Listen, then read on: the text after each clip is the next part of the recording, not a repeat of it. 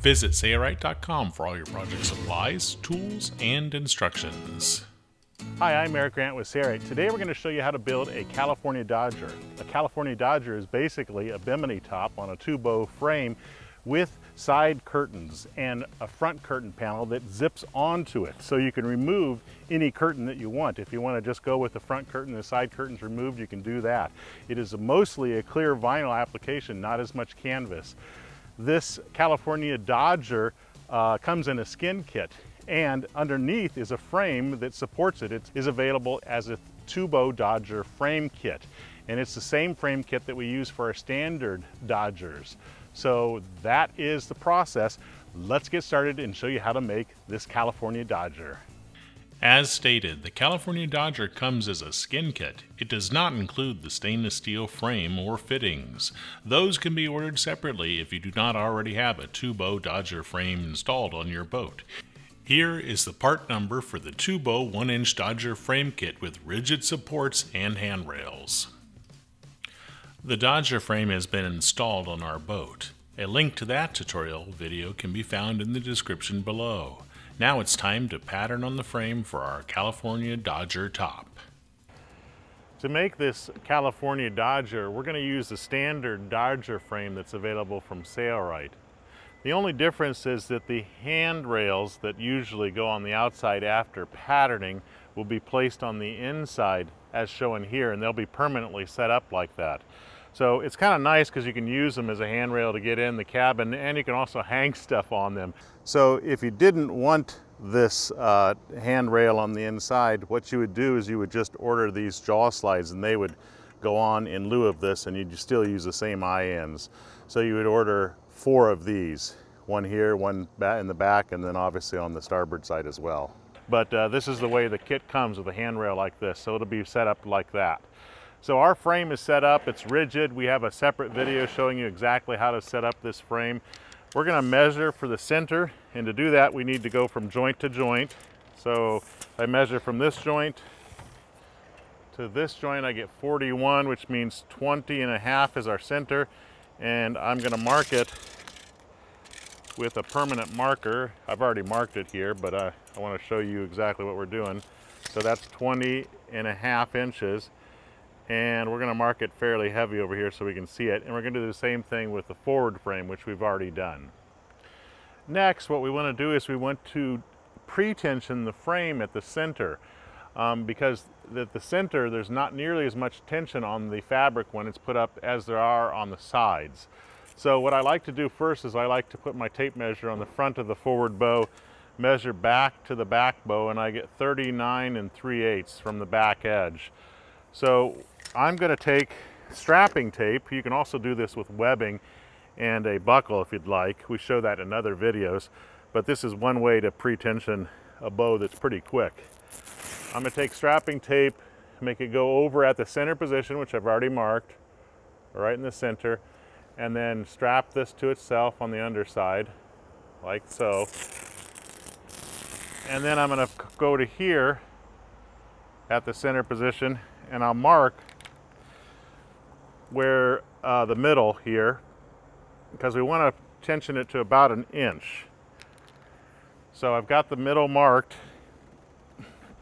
What I'm going to do now is I'm going to pull this up and I'm going to put pressure on the bow in the middle to uh, shrink this down by about an inch.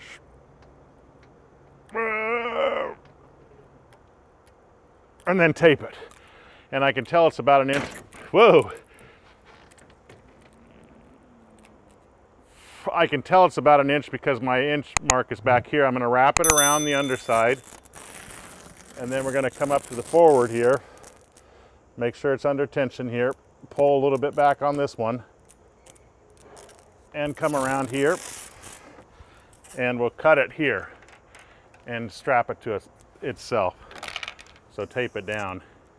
Now what we should do is we should measure to make sure that we are at least an inch, an inch and a half smaller. And we are, we're 38 and 3 eighths inch, which is perfect. So we can't see the center marks because of the strapping tape, so I'm gonna transfer the center mark because I can see through it. It's just not easy to see through it. uh, and put it on top of the strapping tape on both bows.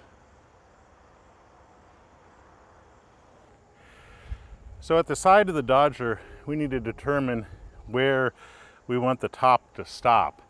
And there is no right or wrong answer to this. You just want it to be fairly level. And you want to use a straight edge like we're using. And once it's level, then what you do is you mark it. And you can tell that we're, we're down below the uh, curve here. And you could take some measurements to make sure that you're level, uh, but you're just trying to go for something that looks level.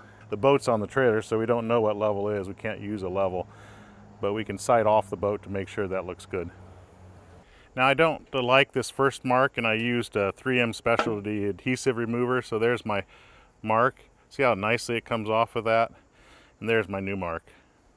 So to get these marks on the opposite side, the starboard side, what I'm gonna do is I'm gonna measure to the deck to where that mark is. And look at that, it's exactly at four foot. Um, now that doesn't mean your boat is symmetrical, but that should get us something about the same. If I measure to here, I get 40 and a half inches to the mark here. So I'm gonna try to put those marks in the same spot on the starboard side. If you're working in the heat, you may want to put strapping tape down before you put the double-sided tape on your bows to do patterning. We're not working in any extreme heat, and we also have 3M uh, adhesive remover, so the tape comes off nicely even if it, it gets heated up a little bit. So I'm going to go directly to the bows.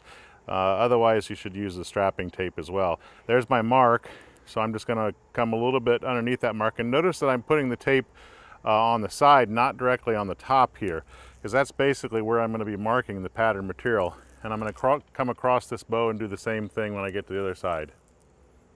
Now we're going to do the same thing to the forward bow. We're going to put the tape a little bit towards the front.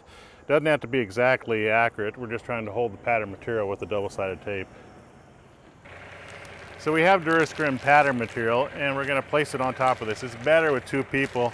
I'm going to try it by myself. I haven't peeled off the transfer paper revealing the glue yet. So I'm going to get it in position. I'm going to peel a little bit of this back here to reveal the glue on the aft bow. That way I can stick this uh, corner to it. Hopefully the wind won't blow it out of position. And then I'm going to come across here. I'm not going to peel any off over here.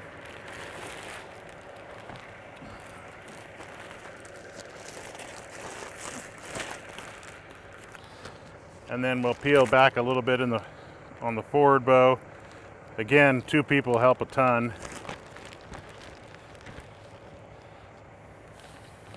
Stick that down. We're going to do the same thing over there till we get it semi in position.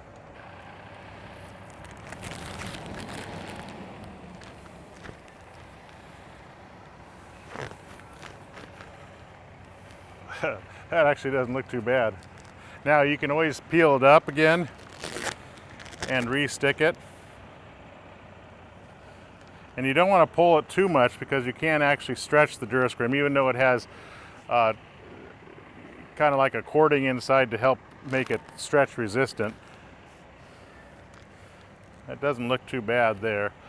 I think I'm going to peel this up all the way and kind of put her down temporarily and come over here do the same. So what we want is we want the pattern material to uh, go on as flat as possible because what you get in the pattern is what you're going to get in the fabric. So if your pattern looks good, then you should be fine. So tension this, put it down. Look at that, it's starting to look good. We have a bubble over there we got to fix. So I'm just going to keep doing this until I get it perfect and then we'll show you what it looks like when we're done here. So I've got it, I've got it actually patterned pretty well, and, and it, if you have a lot of excess pattern material, it is really a pain to pattern. So what I like recommend is I cut off about two to three inches.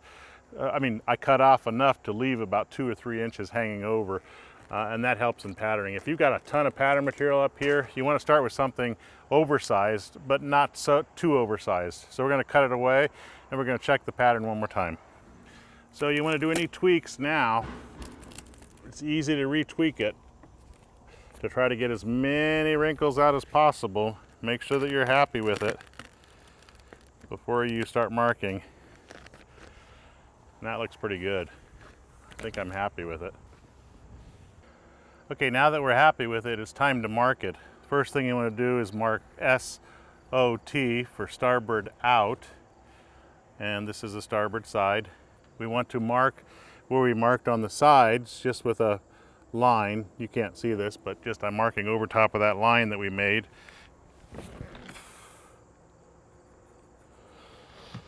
Then we want to mark the center position right over top of that center line.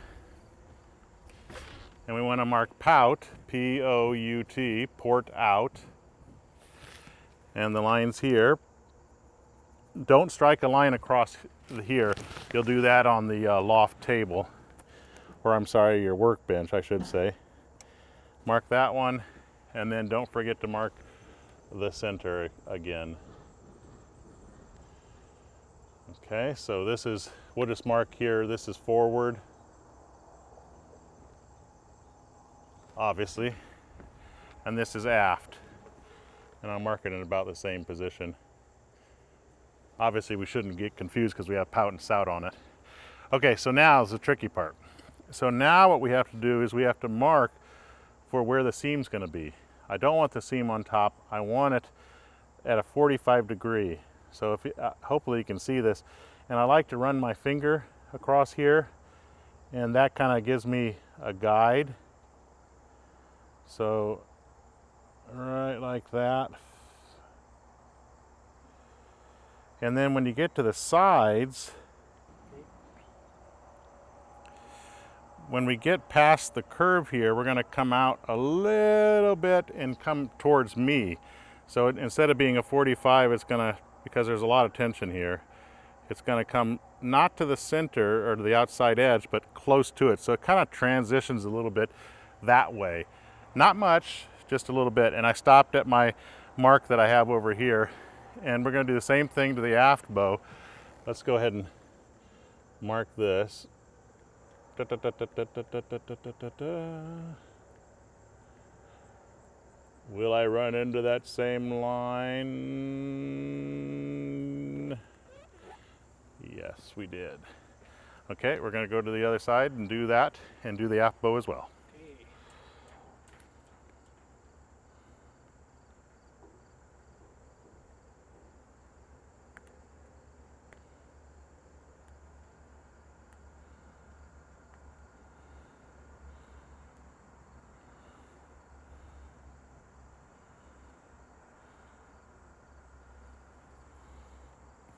So you can see here that it goes a little bit that direction. Not much, just a little bit back here because there's a lot of tension here. All right, believe it or not, we are done patterning. Now we still have to pattern obviously for the uh, side curtains, but that's done after the bimini, uh, which really is a bimini. It's a bimini top is done for this California Dodger. Why I'm confusing things. So we're gonna take this off. Now let's take a look at this uh, uh, double-sided tape here and notice how easy it comes off because of the cool weather. If it didn't come off well, we would use that 3M specialty adhesive remover and a rag. One more thing, you don't want to leave this on uh, because you just don't want your bows to all of a sudden have a memory of, hey, I'm tensioned and I'm always tensioned. No. So watch this. Bam. So take that off as well. So we have our pattern now on our table and we're gonna do two things here. First, we're gonna strike lines on the port and starboard side from those marks that we made on the tubing, which we'll show. And we're gonna add a half inch seam allowance to the pattern on the aft edge and the forward edge. So these are the marks that we made here, and there's a mark on the other side. And I didn't want to uh, strike a line while it's on the boat because you'll never get it straight.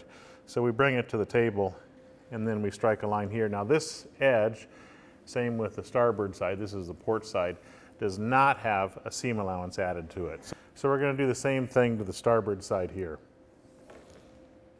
We'll be adding a half inch seam allowance to the forward edge and the aft edge, not to the outer edges. Those have no seam allowance. There are multiple ways to add a half inch seam allowance. I'm going to use the clear acrylic ruler and I like to position it over the entire curve that I'm doing here. And you can mark the material as long as you're on the half inch line that you struck. So here you can tell that I'm on that mark, so I'm just going to mark the material. And then uh, at this point, it's starting to go a little bit off. Actually, it looks like it's pretty much on there. And then uh, we'll just continue to move it as we go around the perimeter making sure it's on the half inch as we go. And this actually works quite well. Even though it's staggered there, you'll see the end result is a very nice curve. As long as we're making sure that it is on the half inch. And we're almost to the straightaway and I'll show you what it looks like.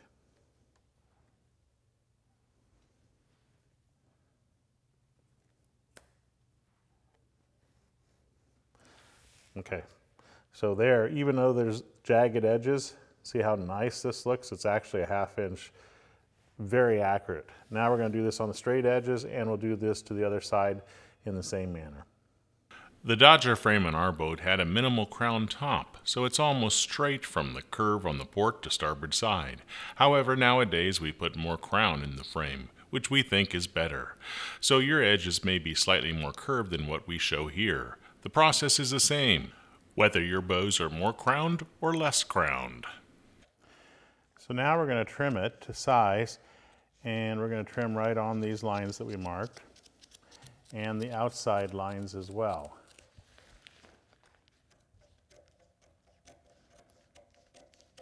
It's now time to pattern the top. We're going to be using Sunbrella marine grade fabric from Sailrite. We have our Sunbrella marine grade fabric on our tabletop and we're going to place the pattern as close to the bottom edge as we can. Um, like that. And we're going to put a few weighted sandbags on it to keep the pattern in place. So you can mark around it if you'd like. I'm using a soapstone pencil and then you can cut afterwards. Uh, this works well, as you can see, depending on the color of the fabric. Or you can uh, use a hot knife and cut with the pattern on top, which is uh, what I think we're going to do. So I'm going to take my tempered cutting glass and put it underneath this area. And then I'm going to use the serrated edge hot knife and heat it up. Only takes a few seconds. And I'm going to hold the pattern material down as I cut around the perimeter. Now, why am I using a hot knife? Well, because we're going to have a semi-flat filled seam, and I do not want those edges to unravel. Um, so that's why we're using a hot knife. So we're going to do this all around the perimeter.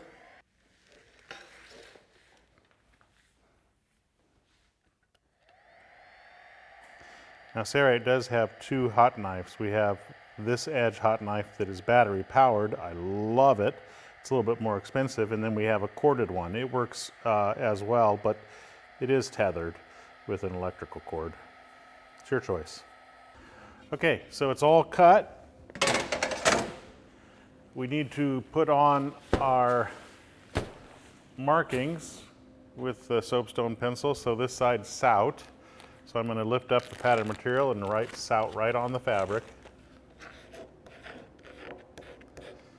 This is the forward. I'm going to write that here and also the center line. That's very important. So the center line's right here.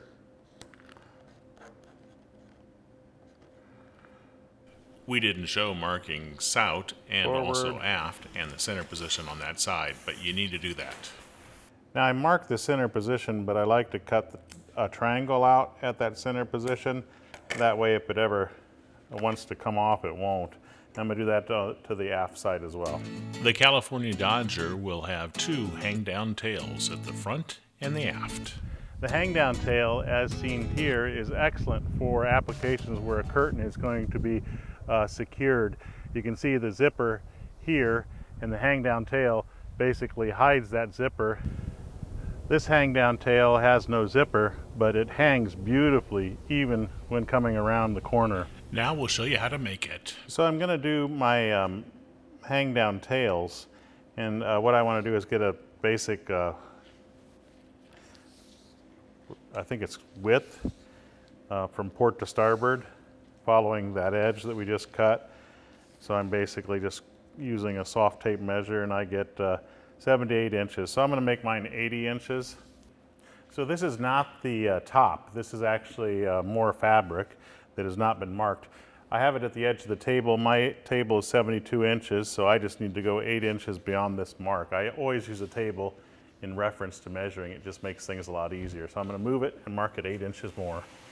So there's my 72 inch mark. I'm going to put the clear acrylic ruler at eight because we want our hang down tails to be uh, six inches. So basically this is the end and these are six inches. So we just mark down the length and we have our uh, perfect rectangle for a hang down tail. Now we need two of these, one for the uh, uh, for the forward portion and the aft portion, the stern and the bow of our top.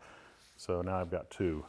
This is the factory edge. It's already sealed, so I don't have to worry about that. Again, I'd like to use a hot knife, so I'm gonna cut this out with a serrated edge hot knife with a tempered cutting glass on the bottom side. It helps to distribute the heat nicely just to the fabric. It doesn't suck up any of the heat, and it also makes for a smooth cutting surface. Bam. These are our hang down tails and uh, we're going to put uh, 3 8 inch uh, seam stick for uh, canvas down one of the long edges of each of them. They're going to be folded in half to make them 3 inches instead of 6 inches. Before I take off my seam stick, I'm going to pre-fold it. And the way I like to do that is I use a sacrificial table with a hard edge and I actually just crease it like that. And uh, that way it has a little bit of a memory because I want these to be pretty accurate. So I'm going to do this to both of them, creasing it so that it's basically three inches. Now we can peel off the transfer paper and I'm just going to peel it all the way off of the edge. And since it's creased, it should just be a matter of basting it together. And I will use the Sailrite canvas patterning ruler just to make sure it's basted well and crease it one more time. So we're going to do this to both of the uh, hang down tails. In this chapter, we'll be creating the zippered pockets for our tubing. Okay, we've got our top material. It says pout. This is the aft side laid up on top of our fabric, we just cut the hang down tails from here. I'm gonna put a tempered cutting glass under here. We're gonna cut our pockets. So I'm gonna put this over here and I'll just start cutting right alongside this fabric because I'm using this instead of the pattern. We have to follow this shape. So even though this side looks perfectly straight, it may not be. Um, and especially the corners are obviously not straight. So what we'll do is we'll come up to this corner following the shape. And the pockets for this are actually going to be uh, four inches in width. I'm just going to cut right off of that. So if I take my clear acrylic ruler and I put it on this corner here, that would be right to there. So let's cut up to that point. And then what I'm going to do is cut the other side, cut to the other corner in the same manner. So I'm going to stop right about there. It's a little bit past four inches. So we're going to continue to cut this way and do the same thing at the other corner, and we'll show you what's next. Okay, it's cut, but don't move it yet. We got to mark the center. So I'm just going to take my scissors and do this. So now that's, that's the same. And then we, I'm going to mark aft as well because I don't want to get confused. These are kind of bonded together, so lift it up here like that. Mark aft, and we're gonna mark pout. Make sure you do it within the four inches area and sout. Now we're gonna move this top fabric here out of the way because we can't use this anymore for this aft edge. We have to do the same thing to the forward edge, but we need to follow this, um, this shape we have in this. And it needs to be perpendicular um, to this edge, or I should say parallel to this edge, but we have to hold our straight edge perpendicular. Okay, to do this, I'm gonna use uh, the Scribe-All uh, pencil. Um, this doesn't come off Sunbrella very well, though it will if you use a uh, adhesive remover. And I want to follow this edge, so I'm using the clear acrylic ruler. Let's see if you can see, it actually goes this way. You can see the four inches is right here in this hole. So I'm gonna put this in here. The nice thing about this is it has a sharp point and you can put it in a pencil sharpener. So uh, I'm just gonna follow this edge and this keeps it perpendicular to that edge as I go. And I do take my time doing this.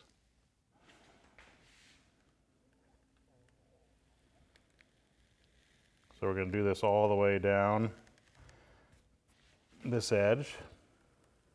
And that follows this. This is parallel to this edge now because I'm perpendicular to it with my tool.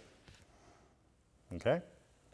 Now the canvas patterning ruler doesn't do a very good job when you run out of fabric, so I just basically follow this up and I kind of say, hey, that's what it looks like it should go, and I go there, even though we're probably not going to use all this fabric. I'm going to put a, a tempered cutting glass underneath this.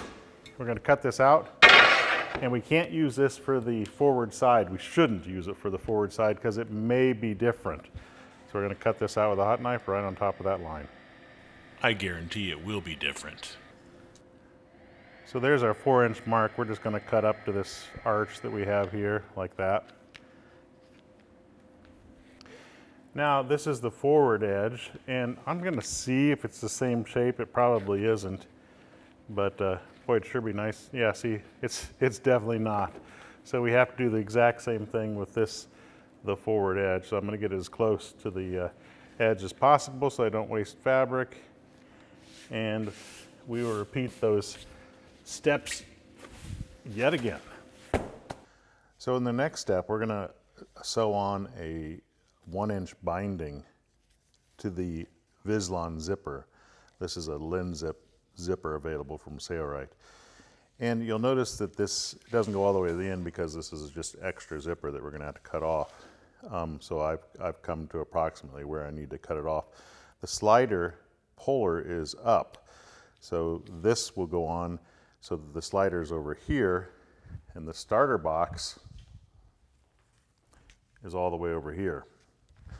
Now what I like to do for this type of a California Dodger is I like to have one continuous zipper because the, the, the Dodger is still easy to put on, um, but you want to have a starter box on one side, whether it be the port and starboard, this will be the uh, port side, and then on the other side, this is the aft. You want to have the starter box on the completely opposite end, whether it be starboard or port. So we have a starter box over there, and then diagonally, we have a starter box over here. So you can see that the binding over there is on towards the top. So that means that we want the binding to be on towards the top over here with the starter box here.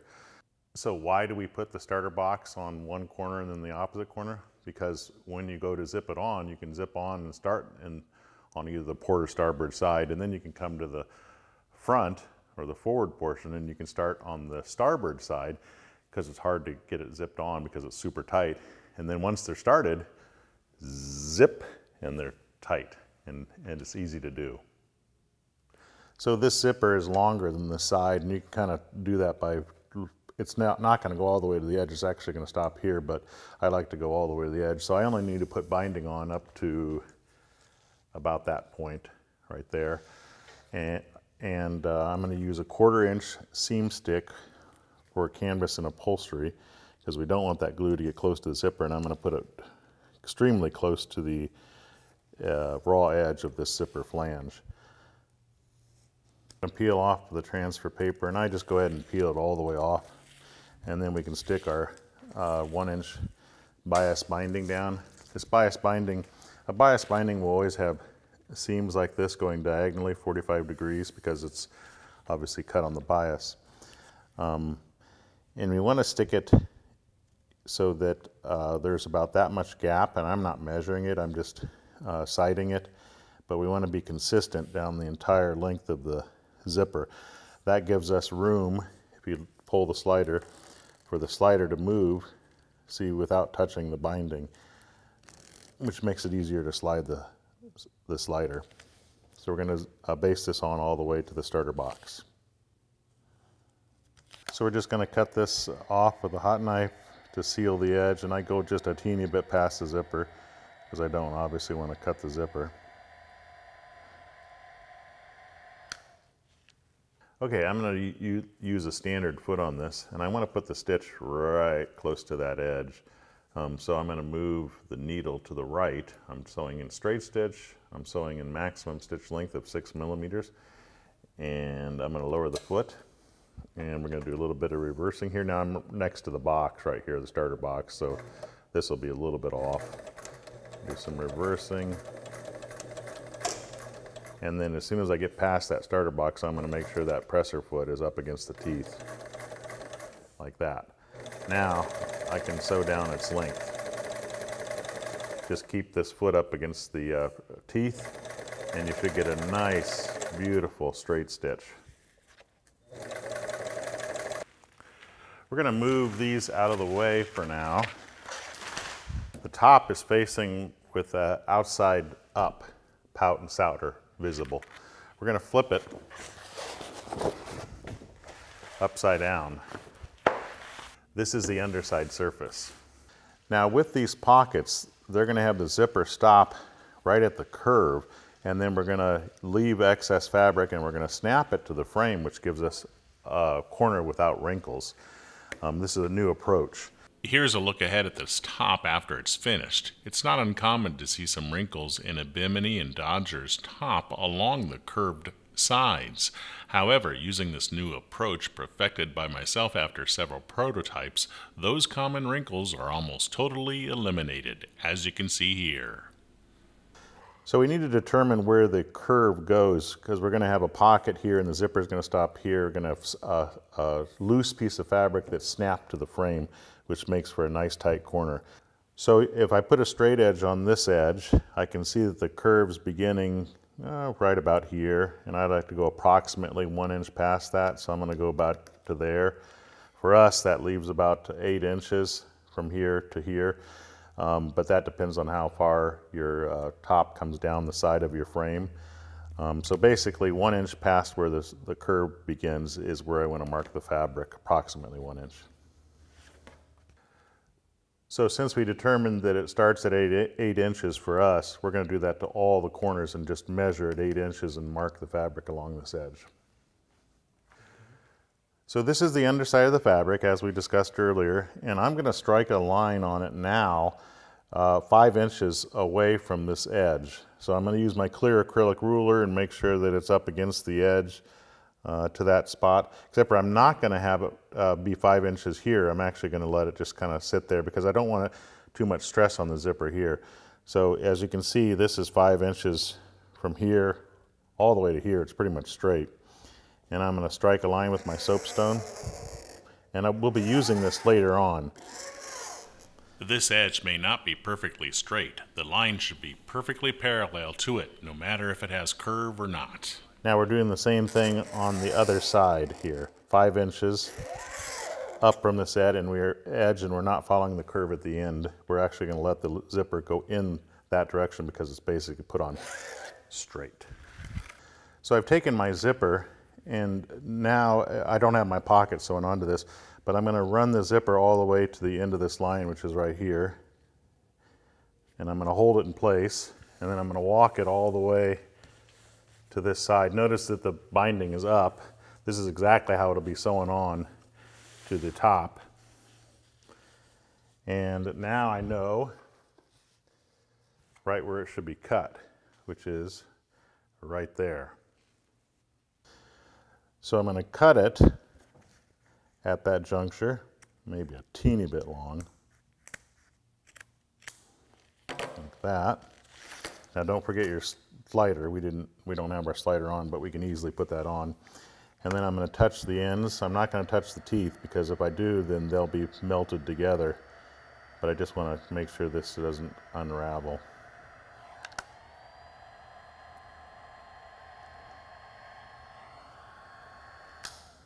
Okay, now let's go ahead and put the slider. Well, we can do the, that later. I think i will put the slider on later, but I want to take it off and keep it.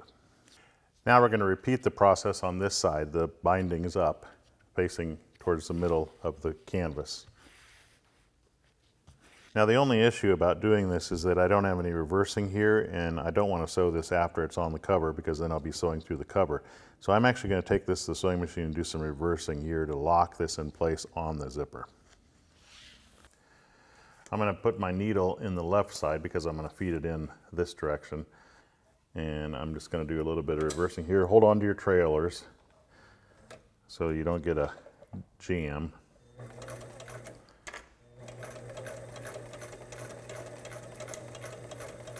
That should do it. We'll do that to the second one as well. Okay, so I'm still with the wrong side uh, facing up. Those, this is the line we just struck, and these are my pockets. This says forward, and if you flip it over, this says forward. So make sure you get up the right, right side on the right side. I'm gonna match it up to my center mark, and then I'm gonna walk it over here. And here is my mark. You can see it right there but you can also see this mark up here. So we're just going to transfer that onto here where the zipper is going to basically stop. So directly up from that because that's where the mark is. And then over here, it would be right there. So we're going to do that with the aft side as well. Taking one inch from this edge at uh, where the zipper starts. So right here, here's my one inch slot and I'm just going to mark across this edge. Every time I hit, hit um, some of the burnt fabric with the, with the hot knife, it kind of jolts on me. This will be uh, used for a single hem. We're going to do this. Oh, and re remember, this is not on the part that has the notch. This is on the upward uh, part of the curve. This is done on the inside edge. This is the uh, notch. So this edge, and we'll do it over here on this edge. I actually should have gone all the way to the edge. I need this hem to go uh, all the way through this edge. So we're just adding that to this. There we go. Here's a little tip. The hot knife causes little burnt nubbings or burrs. And you use the Sailrite canvas patterning ruler and it doesn't glide over it. A little tip is to actually go like this, pull your fabric through it takes all of those off, and then when you use it, it glides so much more smoothly. Now these little notches are not going to be visible because they're going to be on the other side. So you could either transfer your mark or you can just cut a little triangle out like we just did here. And then when this gets folded down, you can see where that zipper goes. So we're going to do that on all those notches. And then we're going to put uh, seam stick basting tape. Uh, this is the, uh, the 3 8 inch. This is part number 129. And we're going to put it fairly close to that edge, but not um, right up against the edge, all the way down each pocket, this forward pocket and the aft pocket. We're going to peel off with the transfer paper. And then what I'm going to do is I'm going to hem this down and this creates a half inch single hem. Our edge is already hot knifed, though this, this uh, hem will be basically buried under a zipper. Not at this juncture, but at this juncture.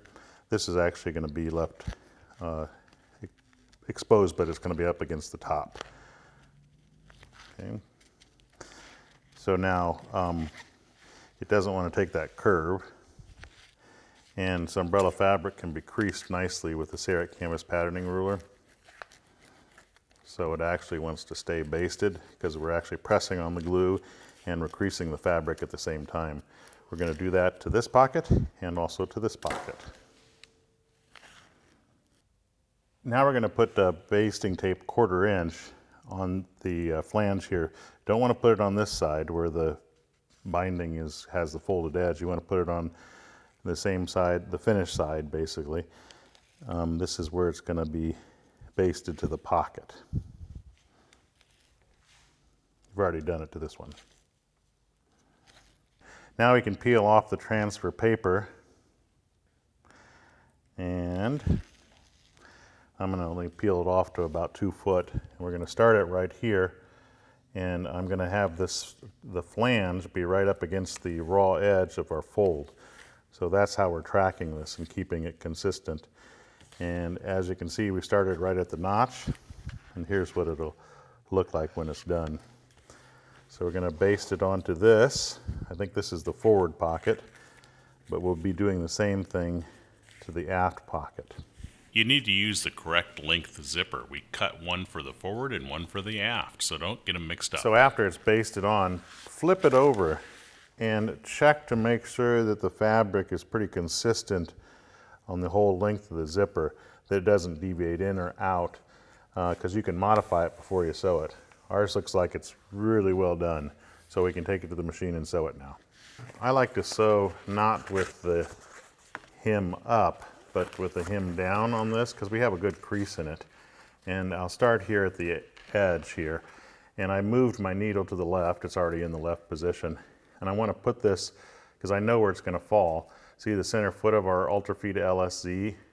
We're going to put this so that it's not right on the edge of the uh, center foot, but slightly uh, uh, into this foot, because that's where the stitch will fall when, it, when we come beside the zipper. No reason to do any reversing here because we're going to finish this edge. So we're going to sew down here and going to go slow because everybody's going to see this stitch. We're going to slow down the speed of the sewing machine with the Worker Bee Power Pack system so that uh, we can be very precise. No matter how hard I press on the foot treadle, it'll only go to that speed. Now when I get to the zipper, See how the foot's walking beside the starter box? I want to do some reversing here. So I'm going to reverse into that flange, the end of the flange. And I want to do uh, quite a bit of reversing here because this will have some stress on it. That should do it. So now I want to make sure that this presser foot comes up against the edge of the zipper and I can turn up the speed of the Worker Bee Power Pack system because we're basically going to be right alongside of that zipper. Pretty easy. Now, when we come to the end, we need to do some reversing and we'll show you that. So I'm going to turn down the speed again. I'm going to go like a quarter. And we're going to sew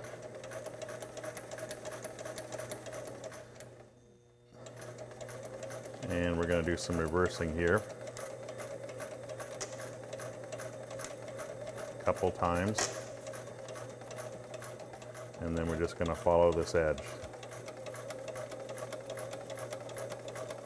And no need to do any reversing at the end because it is going to be hemmed or a flange put over it. There we go. We'll do the same thing with the uh, other pocket. I'm going to take off this half of the zipper because we're going to put the slide on.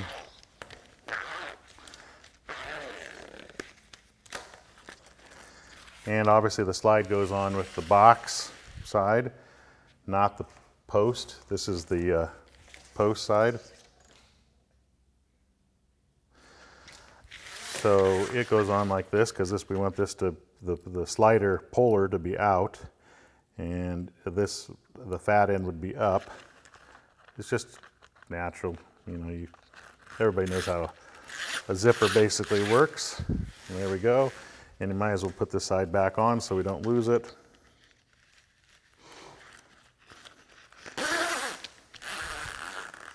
Now, we need to put stops on the end. These are YKK uh, snap caps, I believe they call them. And they're great for uh, number 10 Vislon zippers, even this Lenzip. I'm going to put it on one tooth away from the end and they basically just go over the tooth You can also use stainless steel stops, but I just think these are cool. So I'll start it on like that. And see, it, it looks like it's snapped on, but it's not because it's not flush with the top. So you just push a little bit more. Now it's on. And we'll put one on this side as well, in the same manner. And uh, then we'll show you what it does when you zip the zipper up to it. Now with those stops in place, bam, your zipper comes up to it. It almost looks like a factory uh, edge. Uh, there's a little bit of raveling there. We're gonna touch it with a hot knife.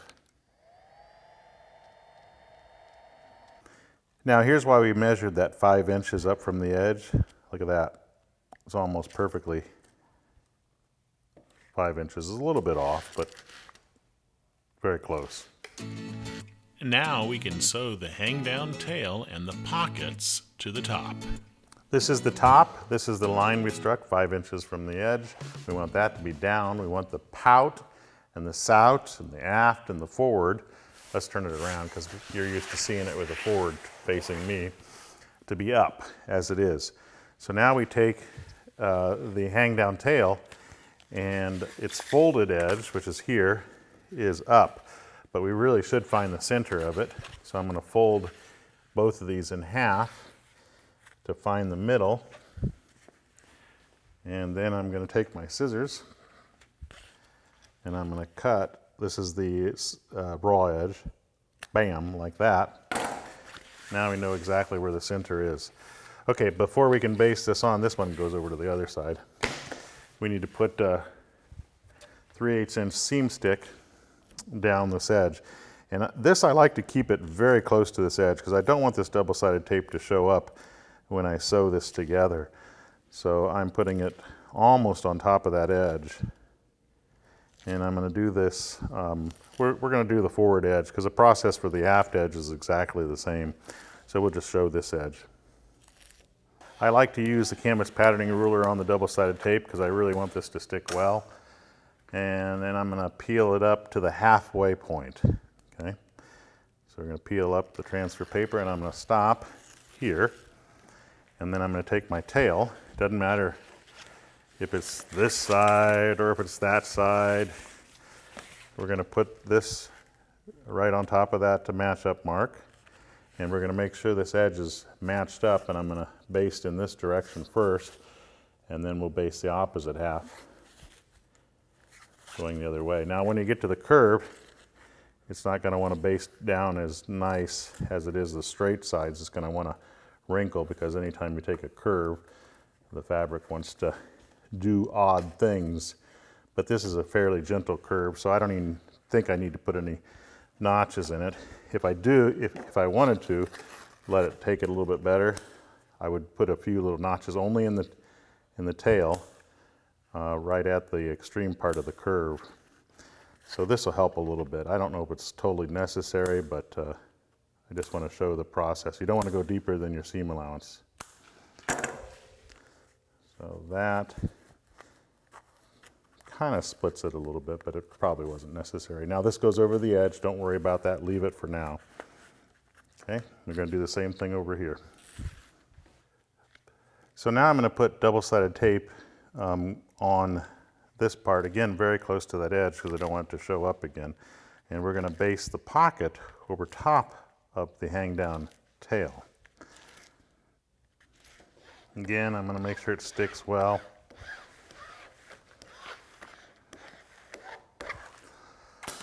Okay, before we baste this on, this is the sout is facing up, and this is sout. So we're working with the right sides. Not that that's important right now, but we need to finish this edge. And what I'm going to do is I'm going to put 3 8 inch basting tape on this edge, and we are going to fold it back. It's going to be folded a little bit strange, so I peel off the transfer paper, and I'm going to fold it so that it has a about a 5 8 inch hangover here, and this edge is flush. So like that, and if you measure this, you can see that that is that's actually about a half inch, which is fine, okay? So that gives it, and then we're gonna sew this. But we wanna do that to this end as well. So I'm gonna do the same thing here. So there's my fold. I'm gonna, I'm gonna turn it up so that the hem is down. And I think I'll just put it right in the center of that outside foot. And I'm gonna go center, uh, yeah, I'll center my needle.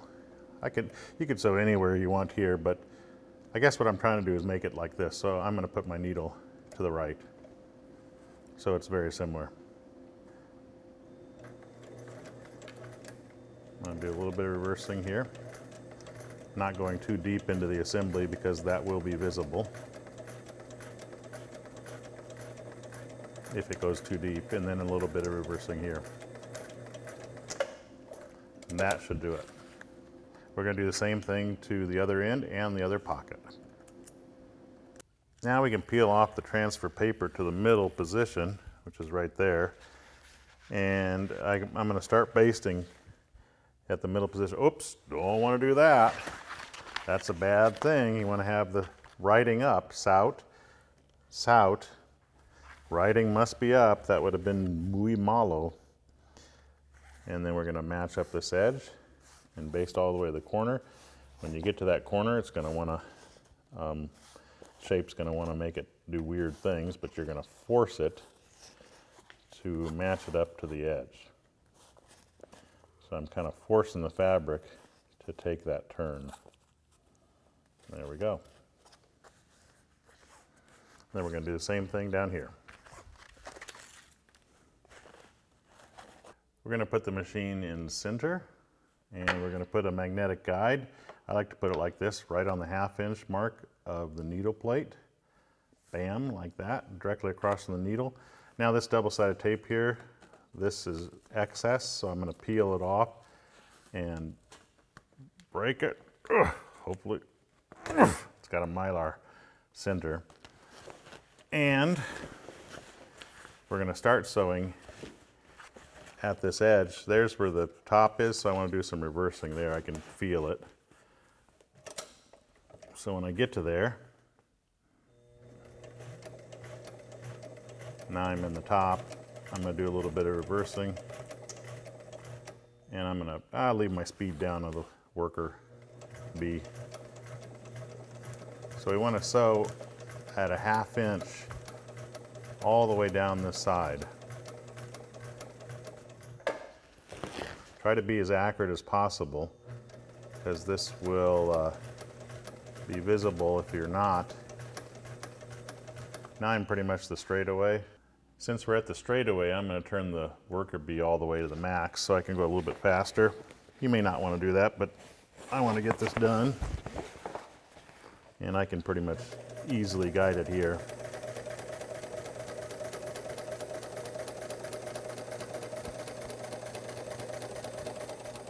Okay, we're going to sew down this whole, whole edge in the same manner. And then we'll show you what's next. Okay, so now make sure you have a bobbin that's pretty full because we're going to do a top stitch. So I'm going to move my magnetic guide and I'm going to go back to the beginning. And we're going to, um, we're going to splay this out, okay? Now we're working like that. Okay. And you can see that we're folded right on that first stitch and I want to put my top stitch up here so water runs off. I don't want to put my, my seam allowance underneath the tail. I want to put it into the top, as you can see here. Let's see if I can show you. So see how my seam allowance, which is this half inch, is into the top? That's where I want it. Now, at the curve, it's a little bit more difficult to get everything to lay flat. I'm going to put uh, this first stitch right on the center foot on the uh, right side. And we're going to start our stitching here and I'm going to pull both left and right as I go. So I want to do some reversing here. And then we want to splay this out. See my needle's buried so I can make adjustments. I don't like the way that it's all tucked into here. So I'm, there we go. So now I've pulled it nice and flat. So it's against that first stitch and I'll sew up to that point. Now everybody's gonna see this, so take your time In fact, I'm going to turn down the worker bee power pack system so I don't ever have to go fast here. I want this to be really accurate. Wow, that is nice. Now I'm going to stop with my needle buried so I can position the fabric and I can feel my tails in the correct spot. I'm going to splay this out and I'm going to sew small sections because I'm on this curve. I'm going to bury my needle.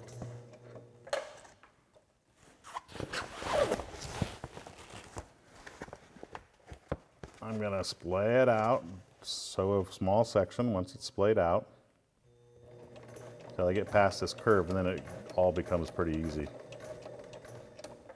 Bury my needle, pull it out, make sure it's nice and flat,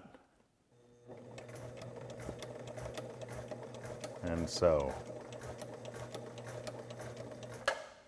Bury my needle.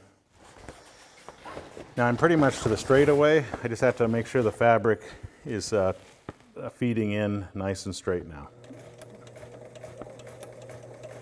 And that is our top stitch for our semi-flat felled seam. This is us at the end where we do some reversing. Now we'll do the same thing to the opposite side, the aft side for us. We're not going to show that. Next up, we'll sew the inside pocket zipper to the top. Now you probably can't tell, but this is the underside. And you can see our pout on the pocket because they've been reversed around and they'll actually come back to the underside like this and this is our tail over here. So we got everything on appropriately. This kind of flips the panel to the underside. So on both pockets, what I'm going to do now is this binding that we sewed onto the zipper will now be basted right where that five inch line is. And if you look over here, so there's the line that we drew earlier, the five inches, and look at that. It's almost perfect when you lay it nice and flat. I'm going to use the 3 8 inch basting tape here because I'm not close to any of the zipper's teeth. So, and then this will just stick better. So I'm going to stick it right on the binding and I'm going to go all the way to the end of the binding with this and we'll obviously do the exact same thing for the aft side as well as the this side. Um, we're only going to show one side.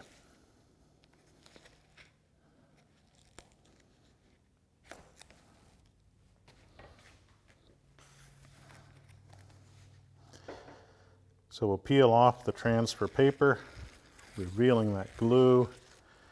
And then I actually like to start kind of in the center. Doesn't matter, but that's where I like to start and baste out. So I'm going to match it up to that line. And if you've been accurate with everything, it should be perfect. Now we're not really following this curve, you know, we kind of ignored that curve at the end of this line here, and that's good because that relieves some of the stress on the end of the zipper. And these are locking um, zippers. So this slider does not pull unless you pull on the uh, puller itself. It locks in place, which makes it nice and secure. So we're going to baste it to this end, and then we're going to sew it. I'm going to use the Sailrite Canvas patterning ruler and press down hard. This actually, there's a lot of stress against this. And uh, we, that's one of the reasons I, I drew a line on this. We can use that as a reference to make sure it's nothing is moving as we take it to the machine and sew. So I recommend that you press it down well. I'm going to relieve the stress even more by unzipping this half, which basically allows this to just rest in the middle. I'd like to have it zipped on when I baste it in place like I did, but now I can take it to the machine and I don't have to worry about this pulling against the zipper and it not moving out of position. Okay, we want to sew to the left side of the inside foot and I want to move my needle to the left to get close to that binding edge. And we don't want to sew into the top. We want to sew only into the binding so that we're going through three layers of canvas. Because if you put a needle hole in the um, top, it's prone to leak a little bit.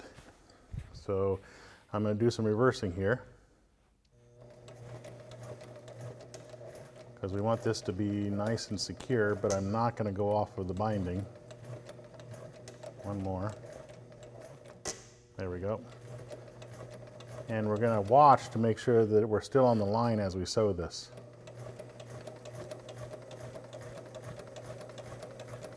When we get to the other end, we're going to do some reversing there, being careful not to sew into the single layer of Sunbrella top material. Then we're going to repeat this for the other side. We're not going to show that. In this chapter, we'll sew binding around the top. Now we're going to take the tails and they need to be cut off. And this is the edge of the uh, top. So all I do is I take my clear acrylic ruler and I line it up with that edge. And things aren't sitting perfectly flat, but that's okay. This is close enough. And I strike a line here. And I'll actually curve it.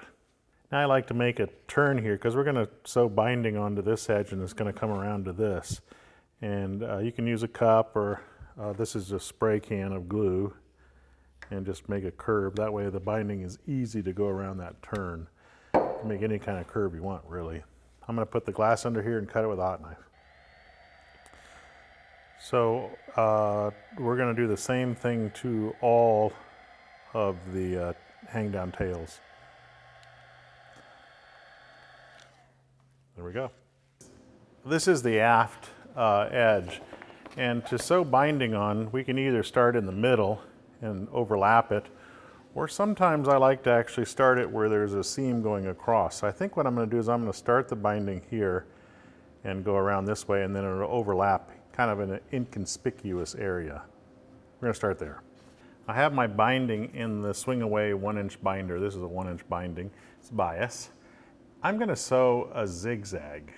Now I'm probably not going to sew five millimeter, I'm probably going to sew more like a four millimeter zigzag. And I also want to reduce the stitch length. I think it just looks better, but you don't have to. You can sew a straight stitch just as well. But I never want to sew a zigzag without testing. So I'm going to put this in here and see if it uh, hits the, uh, the binding on both sides. Hmm. So it's off of that one side, so I'm going to reduce the stitch length to maybe three. And I'm going to move the binder a little bit closer to the presser foot. Okay.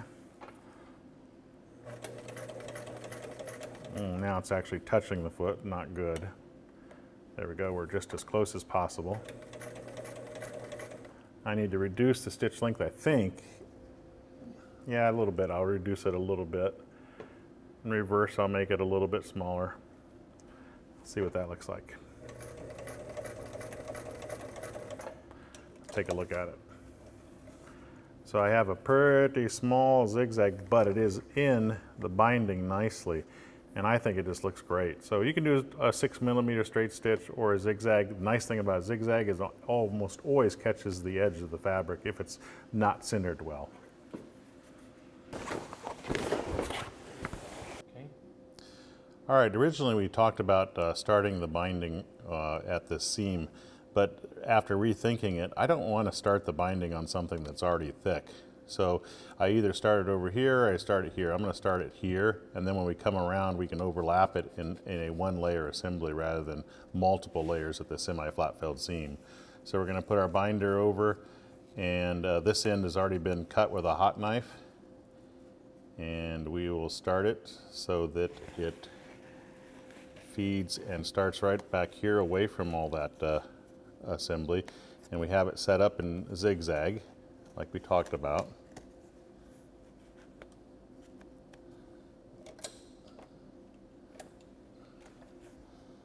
And there's no reason to really do any reversing here because this is going to have uh, binding uh, placed over the end when we come around the entire uh, top. So we're going to sew it around the entire perimeter like this and then uh, show you what's next. Make sure you keep your assembly well into the exiting point of the binder. Don't pay attention to this point here because this will uh, make it so that this fabric is not pushed all the way into the fold. Now when I get to this turn, What I want to do is I want to make sure that I'm pushing this assembly well into the exiting point of the binder.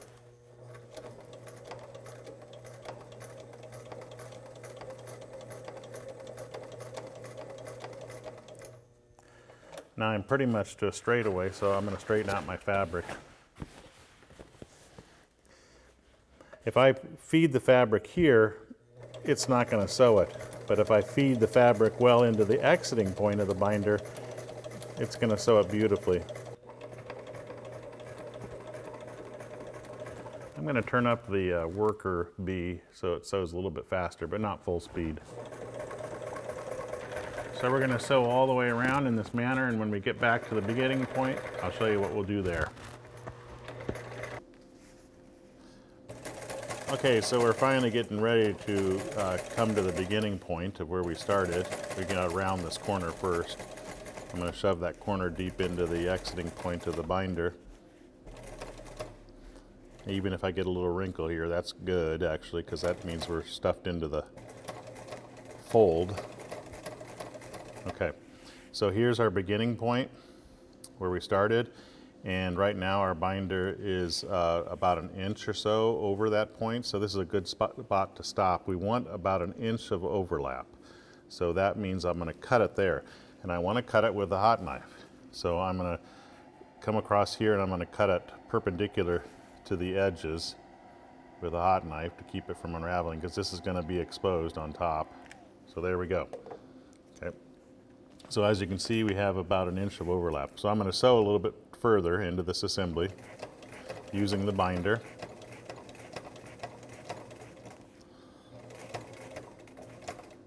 Okay, so now we're coming to the junction.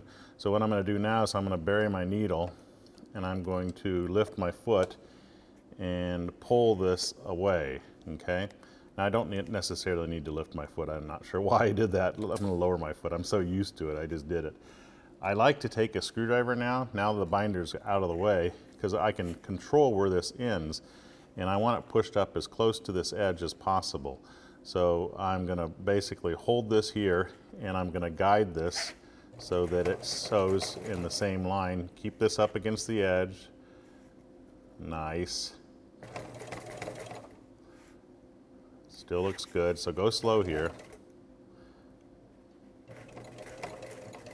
Now I'm back over into the old piece. Now I'm gonna just do a little bit of reversing to lock it in place. And that completes it and gives us a pretty good looking edge. It's almost pushed up against it completely and so it's almost smooth, uh, a smooth transition. It's not perfect because it's, it's, it's thicker uh, under here than it is over here, but that's good. And we're ready for the next step. In this next step, we will be adding zippers on the port and starboard side at the top for the window curtain that will be zipped onto the top later on. However, we found that dropping the zipper closer to the sides of the top would have resulted in a better looking top when the side curtains were attached. As you can see here, we sewed our zipper in a little bit too high. Then we added a second row of stitches just to reinforce it, but it's still too high and it creates a lip here.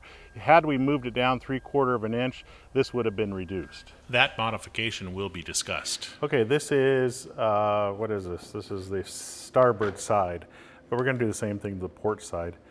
Uh, what I wanna do is I wanna put a zipper on and that zipper uh, will have binding on it and I wanna mark a line that is two and three quarter inches uh, from the uh, edge. So I'm just using the soapstone to mark it at two and three quarter inches and we can extend that line a little bit.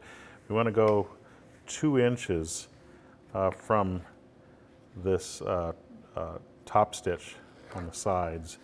So two inches, I'll show you over here. So here's the top stitch right here and two inches is a safe area. So we're going to stop it right there. And two inches over here puts us right there. So now with this zipper, I have a double pull slider so that we can unzip the, the uh, panel, the glass panel from the inside or the outside. But uh, I want to put on a um, binding to the edge um, before I put that on. This is our starter box and we want to put the box on the top and then the pin will be on the enclosure uh, side panel so it just slides into the box. And this is the forward side and this is the aft. And I like to put the starter uh, box on the forward edge so that uh, when, it, when you zip it on, this comes back here to the back and rests there. So that means I need to put binding because we've got to reinforce this zipper since we didn't use a flange like we do on a lot of our Biminis and Dodgers. So I'm going to use a hot knife and I'm going to touch the end of the binding. This is the one inch uh, Sunbrella binding. That heats it so it doesn't unravel. I don't know if I got it there. And this is going to be basted onto the zipper like we did previously. So I'm going to put a quarter inch seam stick on the zipper. And we are going to cut this zipper to size. Might as well cut it now. Let's just take these out, of the way, the slider. We'll put that on a little bit later on. So we, we know where we're going to cut it. And we'll use scissors and cut it right here. Okay. Then I'm going to touch the edge to make sure that it doesn't unravel. Good. And we'll put the seam stick on there. We will show sewing the binding on the zipper's flange, then we will sew only one stitch in the top along the edge of the binding. However, we also found here that it would have been better to sew the binding and zipper to the top with two stitches in the top for a more secure zipper for the side curtains. Good, we'll peel this off. And we'll put this on so that it overlaps just a little bit. And again, we want it spaced a little bit away from the teeth and we want it to go on nice and straight. We're going to put the machine back in six millimeter uh, and straight stitch. And we are going to sew um, with the needle to the right. And we will do some reversing here. As we already mentioned, we probably would have skipped this step and actually taken this full assembly to the top and sewn it on with two stitches. And sew down to the box and do some reversing there. We're going to flip this over and we're going to put the 3 8 inch basting tape on the acrylic binding on this side. I break it with my fingers because it's easy to peel it up with the edge like this. And then remember the starter goes to the front. This is the front, this is the aft, bow, aft. And I'm going to put it right on my line. This line is two and three quarters inches up from the edge. Like that. We're going to instead put it two inches up from the edge. Good. And we will take this over and sew it.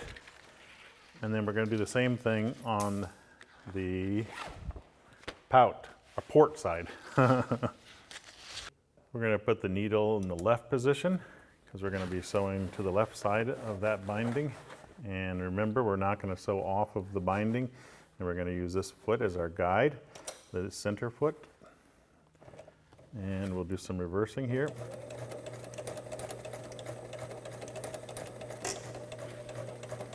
And we're making sure that it's on the line as we sew. Now having this binding strip in here um, kind of reinforces that. That's why we don't put a, a uh, facing on the edge like we do on often many of our other videos because this reinforces it and makes it look nice.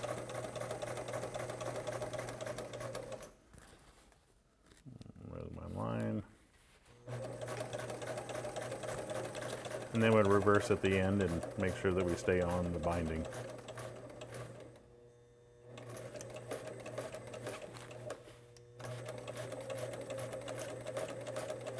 There we go. We're going to slide the slider back on so we don't lose it. Remember it's a locking slider so you have to pull on the tab to get it to move. And we're gonna put the other side on with the tab.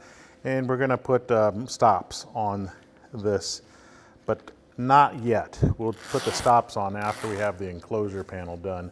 I didn't cut this side, so we're just gonna leave it long like that. Now we're gonna do the same thing to the uh, port side. To the top, we'll now sew on the front zipper for its curtain. Here's a look ahead at that zipper which attaches the front curtain. Okay, as you can see, this says forward, which is very important because you want to do this zipper on the correct side. A double pull slider means we can open it from the inside and the outside, which is uh, good. What we want to do at this, I believe, is the south side. It says S-O-U-T, starboard. we want to measure over about two inches from the edge here. We're going to mark it here. And then we're going to do the same thing over on the port side.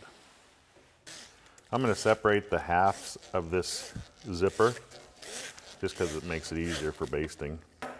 And I'm going to take the side with the starter box, not the pin. So the pin we're going to set aside.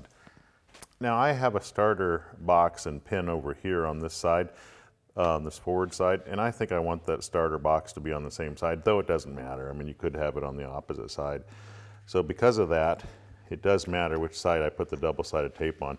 This is gonna go on the hang-down tail like that, obviously to our two-inch point.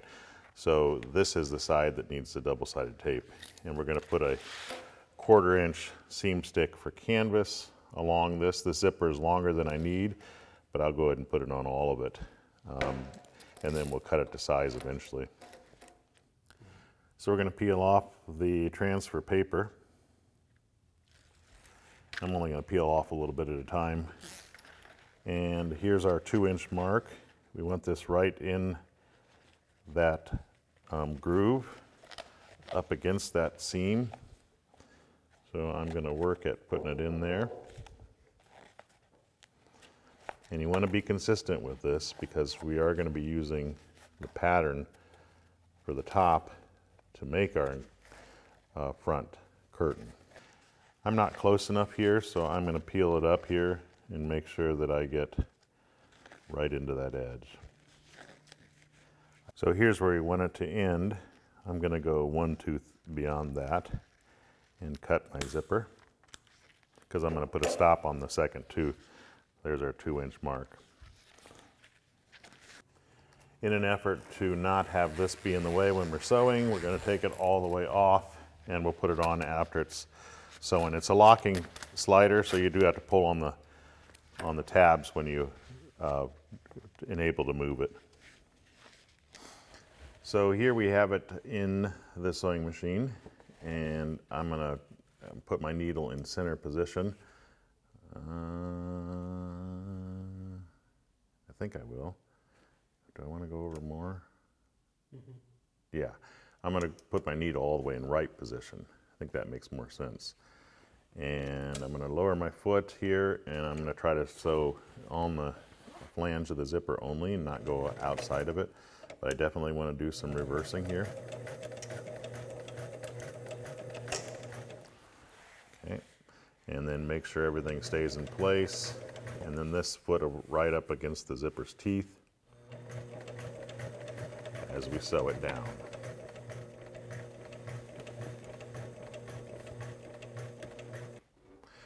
Okay, we're going to sew all the way over this, and when we get to the other side, we're going to do some reversing, and we'll be uh, done with this uh, front zipper.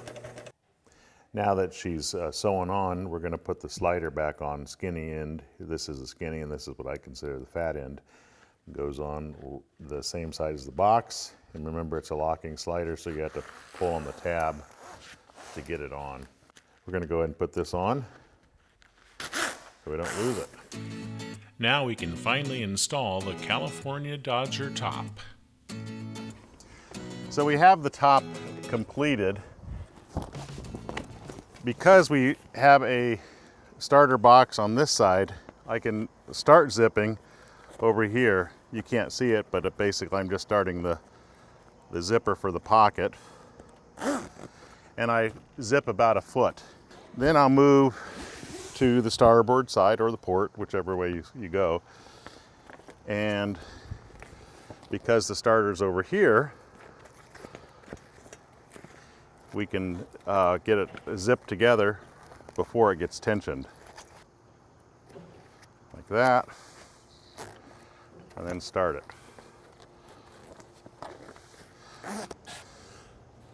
So we'll continue to put this side on all the way and then we'll go back to the back portion here.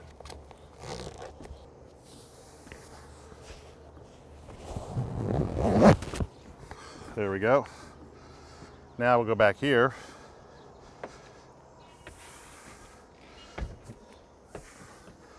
And it still can move port and starboard.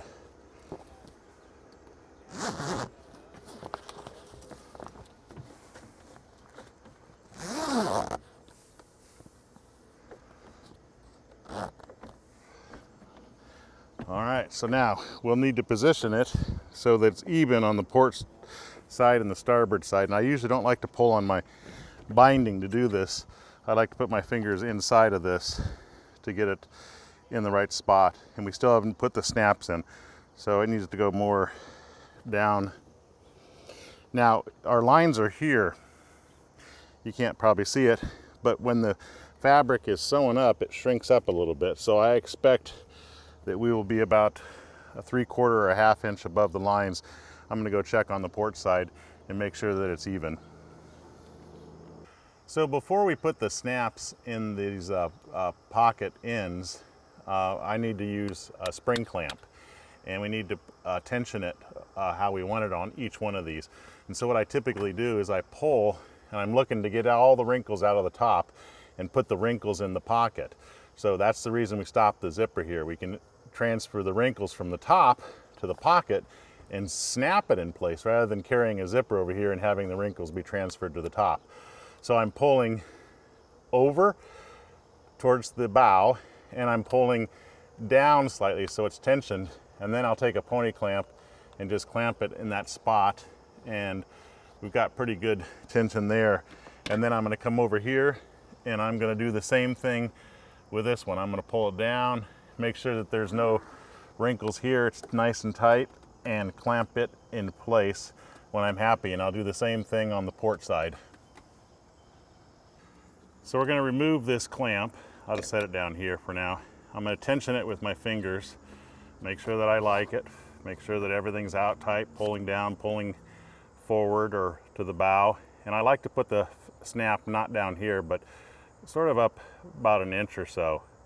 So I take my soapstone and I mark where I want that snap and I'm kind of doing it midship like that. Then what I'll do is I'll take a rotary cutter set on the eighth inch hole cutter. We have several that you can buy and I'll punch a hole through this. This is going through two layers of fabric like that. So you can see that we went through that fabric on the backside that we had folded over. That's why we left it in place. So now I'll take a Sharpie marker with a sharp point, small fine point, I should say, or fine tip, I think is what they call it. I'll pull it tight again. So this is my last option to make any changes because I'm gonna put the snap into the frame. So I'm gonna pull down, I'm gonna pull to the bow because this is the aft one. And I like that. So I'm gonna mark it here on the stainless steel. So there you can see it. Let's move this a little bit out of the way. So see the mark. Now I'm gonna take a punch and I'm gonna put it on that mark and I'm going to give it a few blows.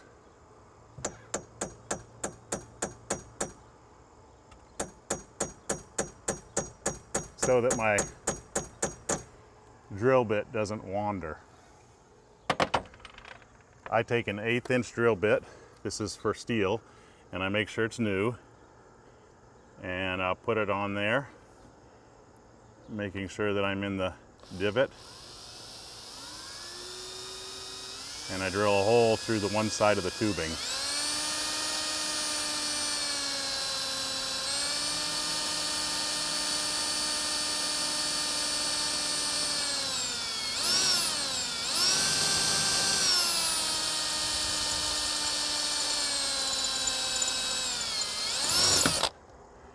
Okay, now I like to make it a little bit bigger, so I'll rotate it around a little bit. There we go. I'm going to use a riveting tool with the Sailrite Snaprite surface mount stud die installed in it. It's just screwed onto the riveting tool.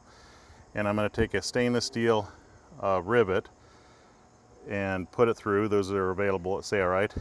And then I'm going to take my snap uh, stud and push it onto the die. There's an O-ring in here that holds it in place. And it's stubborn, but you want it nice and flat like that.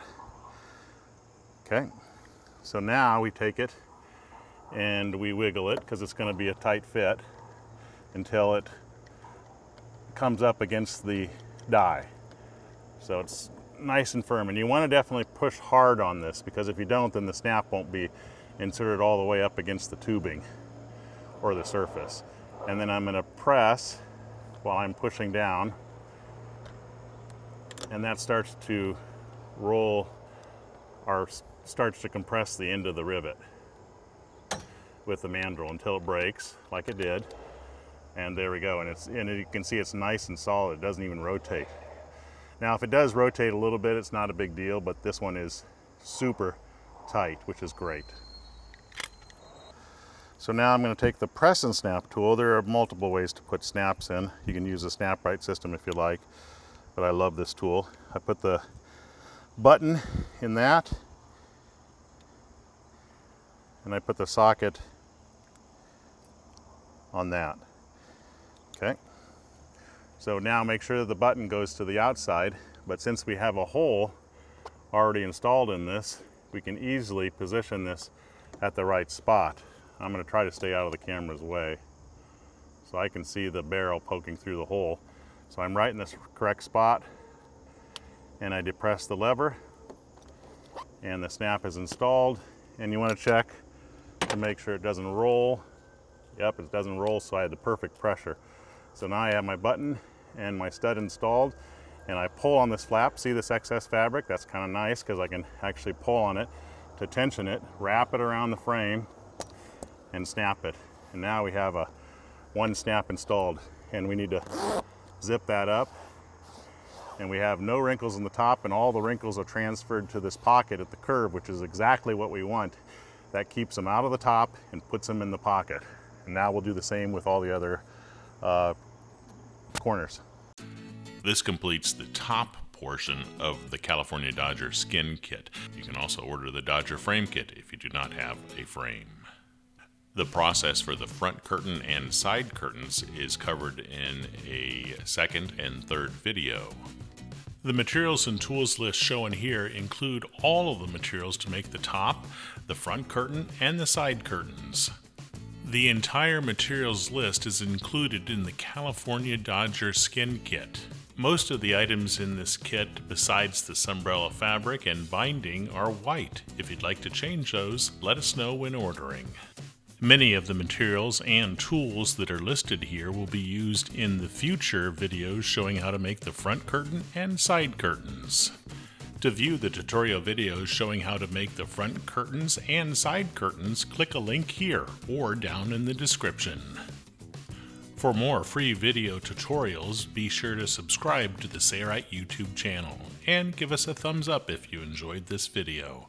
I'm Eric Grant, and from all of us here at Sailrite, thanks for watching.